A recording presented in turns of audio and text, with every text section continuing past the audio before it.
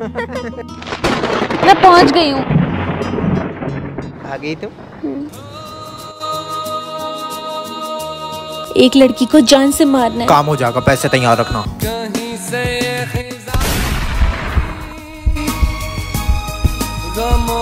सच्चा प्यार सबको मिलता है और लाइफ में एक बार ज़रूर मिलता है। उसकी कदर करना मत भूलना।